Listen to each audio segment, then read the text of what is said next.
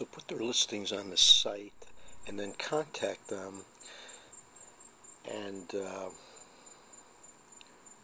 you know give them a free listing and this gets us in the door uh, for possible other services as SEO, web design, video, etc.